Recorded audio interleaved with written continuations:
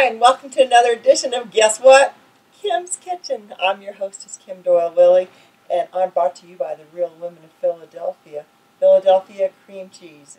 Today we're going to feature original cream cheese, two bricks of it, because we're going to make the fastest meal. I'm not even going to have the time to talk today. I mean, normally the biggest problem I have with my videos is I have to edit out everything I say because I talk too much before I start because literally it took more minutes to gather the ingredients here than it will to mix this up. So I just wanted to give a shout out to all you wonderful women in the Real Women of Philadelphia. You have inspired me. I've seen a lot of your videos. I've read your bios.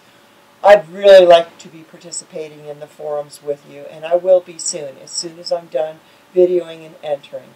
But for right now, I have limited computer usage in a day, and I have to spend it doing this and entering and trying to be like one of you, being one of those 16 finalists. We're just going to take a medium mixing bowl, and we're just going to go to work here. Here I've got two 8-ounce packages of Philadelphia original cream cheese. They've been softened to room temperature.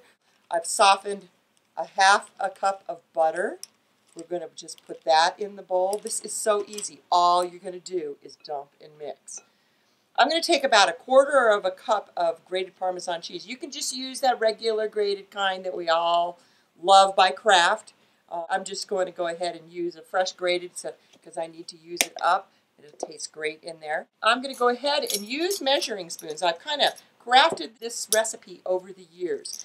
And, the, and most recently, I'm using it simply because our Kroger's and city markets locally and across Colorado are no longer stocking Philadelphia garlic and herb cream cheese, which I loved. It, so I've gone back to making this, and I think you might want to know the recipe too, because I've combined three different favorites over the years, so they come to taste as much like Boursin as possible, the French cheese we all know and love. I just have a half a teaspoon of tarragon vinegar. That'll just give it a little spice. You could use half a teaspoon of lemon juice as well. Now, all we're going to do is we're going to add half a teaspoon of Beau Monde. You've probably all seen it. It's Beau Monde seasoning. Half a teaspoon of basil leaves. Half a teaspoon of dill. Half a teaspoon of oregano. Half a teaspoon of thyme. Just thyme leaves, not the ground kind. And we're going to use one quarter of a teaspoon of tarragon. I've minced up one tablespoon of green onion. This is all minced up fine. That only took me one minute to do. So we're going to dump that in there. And then I chopped up two teaspoons of minced garlic. And we're going to put that in there. We'll just put in about a half a teaspoon of salt. I kind of just measure it in my hand like my grandma taught me how to do. And I love using kosher salt. It just seems to bring up the flavors better. Then we're going to grind in about a half a teaspoon of pepper, I've got a tricolor blend here with red, green, and black peppercorns. So I think that's going to do me about right. And that's it. Look at that, you guys. All we're going to do is blend this together. You can serve this right away. That it, it absorbs the flavor right away. Or if you want to, you've got a busy summer coming up or even during the holidays. I love having this around because it's a fast thing. You can just store it in a covered plastic container in your fridge, and you're good to go. If you prepare like I do on Sundays, sometimes I get a real urge to cook, especially in the wintertime on Sundays while I'm watching the Broncos play. Then I'll make something like this up ahead of time in case something comes up during the week. I've got it. And there you have it, the herb cream cheese. I want to serve mine in individual plates. As some of you know, I'm wearing my Hawaiian outfit here, trying to get in a better mood today because I've got more friends moving away and walking away from their houses and businesses. And we're actually celebrating the bon voyage of my roommates I've had for some time. I just announced two days ago that they have to leave. Their last job didn't pay them. For right now, I'm just going to put these in little molds and put them on a tray in the freezer. These I'll just set in the freezer for probably 10 minutes, I think, and then I'll just dip them in some hot water to loosen them. There we have our four little individual pâtés. That way I can put them on little trays around the yard tonight when we're celebrating and playing horseshoes and have some crackers and fruit on them it'll be really easy. I'll tell you what, I had to lick that spatula and it is yummy. We have got a winner here. I'm drying off this little mold. I've had it soaking in hot water. It only took 10 minutes in the freezer. And I'm just drying it off so it doesn't muck up my plate. Then I'm going to put my plate on top of the mold and just flip it over onto the plate. Oop, I can see some ooey gooey goodness coming out of there already. Oh, look at that. Little hearts. I cleaned up that plate a little bit. It only took half a minute to do. I'm going to go ahead and decorate this right now. I think we're going to just go ahead and put a strawberry right there. We'll go ahead and put some crackers around. And I'm going to lay these four different plates around my yard on little plastic tables. So as people are playing horseshoes and stuff, they can go ahead and help themselves to the food.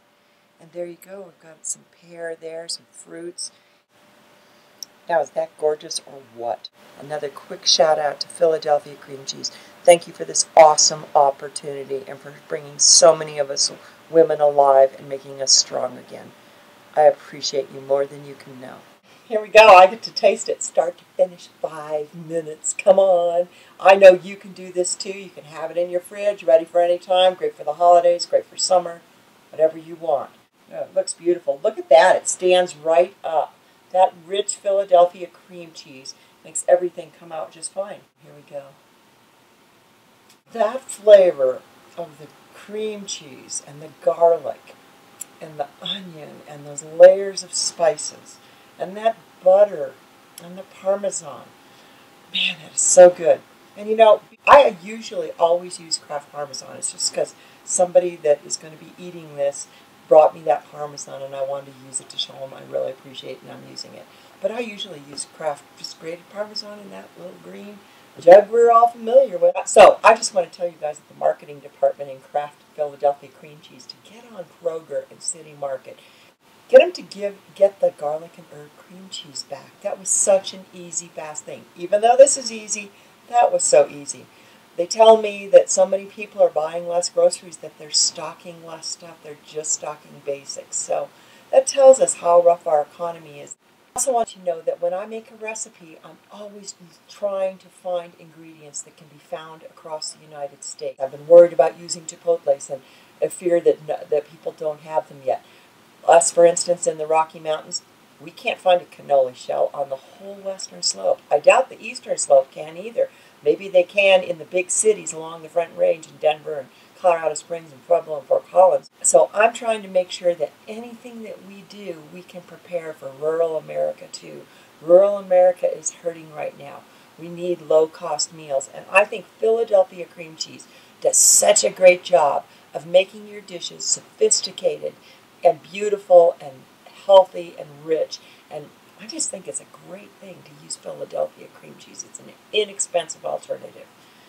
So I just want to encourage all of you to go out and help your neighbors. I know I keep harping on it, but I have the soapbox right now. I'm going to use my voice to help people. Please reach out to your neighbors. Go out there in America right now serve them up some cream cheese, share your food, share your cream cheese. And before we go, I wanted to offer my favorite, favorite quote in life that I've known since I was about 15. And when times get difficult, which there have been several in my life, I always fall back on this great quote by Teddy Roosevelt when he was riding with the Rough Riders. And I just wanted to offer it to all the women competing in this because I know it's hard for a lot of people who are spending their last time trying to get this contest and trying to win it and hoping against all hope that they can be one of the 16 chosen and then one of the four finalists. 25,000 is a lot of money and it solve a lot of problems and it could do a lot of good for others. So, here's my favorite quote. We the willing, led by the unknowing, are doing the impossible for the ungrateful. We have now done so much for so long with so little. We are qualified to do anything with nothing. We can do it. So until next time when we're making appetizers, this is Kim Doyle Wille checking out and reminding you to go break bread and create some community. Take care.